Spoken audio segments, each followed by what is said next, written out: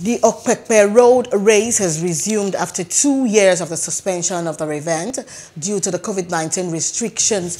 The organizer of the race, Mike Itemuagbor, said all is now set to hold the eighth edition of the contest.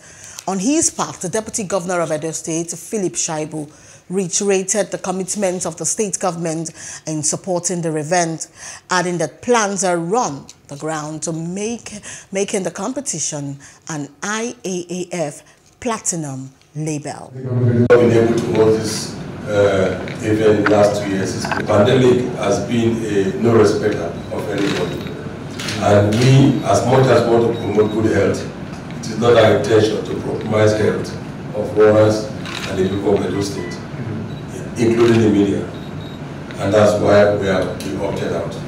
But I can tell you that they have assured His Excellency, and he has also assured us of their preparedness. Uh, we agree that we have to institutionalize this race, and the process of doing that is already being put in place. So government support will continue to come, will continue to support the race, and there are other areas that we have agreed to partner to make sure that this race uh, is successful.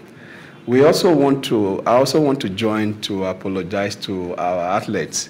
It's not our fault.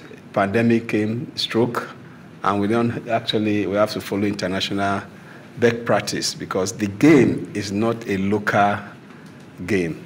It's an international race. For us, we are struggling hard and putting everything in place to make sure that uh, we quickly get our gold label and possibly after that our target is to, to be a platinum race. Hello, hope you enjoyed the news. Please do subscribe to our YouTube channel and don't forget to hit the notification button so you get notified about fresh news updates.